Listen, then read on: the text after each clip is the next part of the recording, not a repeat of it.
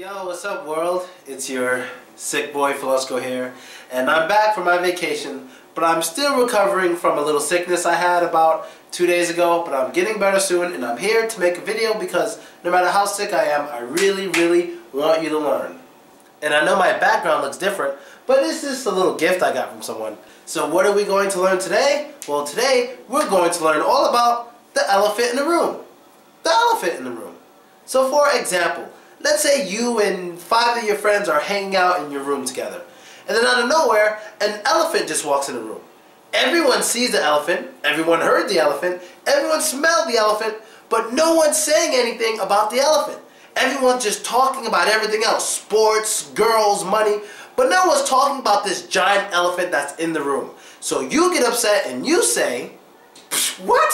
Nobody see this elephant in the goddamn room? I see the elephant, I smell it, I hear it, I I see the damn elephant. Nobody gonna say nothing?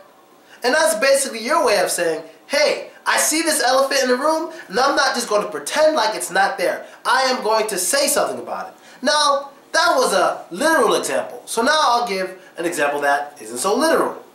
So let's say you and your friends have this one female friend who's really cool. She's an awesome person, but she's not very sexy. You know, she doesn't have any any breasts at all. So you know, she's like one of the guys. And let's say one day you have a party, and next thing you know, oh, this party is so great. I love this party. I'm having fun and shit. And everyone notices they're different. Everyone notices something isn't usual, but no one's saying anything about it. Maybe because they don't want to embarrass her, or maybe because they don't want to ruin the happy, fun environment. But that's what makes it an elephant in the room. It's something that is obvious to everyone, but no one wants to speak on it because it may make them uncomfortable or make that person that they're talking about uncomfortable. So if you want to announce the elephant in the room, if you're a person looking at the elephant, you can say something like, okay, elephants, I mean, elephant in the room, where did you get those breasts from? And he can do that. But more commonly, she would come out and announce the elephant in the room like this. Okay, okay, elephant in the room. I know, doctor did surgery on my boobies. I want to look sexy, and that is what happened. Yeah, and one last example. So let's say you're a guy, and you meet a girl at a bar, and she's really good looking, she's super sexy, and you think you really have no chance, so you're going to try your best to get this girl. So you tell her a bunch of stuff. You tell her that you're rich, you have a nice car, and you have a really big house, all this stuff to get her to like you. And guess what? It works. Now she likes you.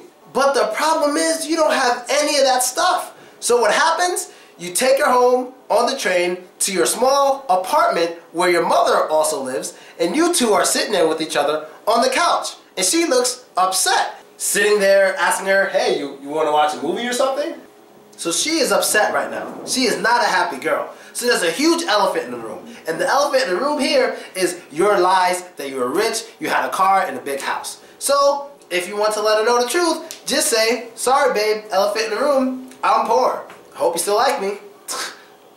and that's the end of the episode for today. I hope you liked it. I hope you enjoyed it. And I hope you learned stuff. Be sure to add me vk.com slash That's me. And subscribe to my YouTube page to see all my videos. I know my voice is terrible right now, but it should be all better in a few days. I'll have two videos out today, so keep your eyes open for the next one, alright? Later.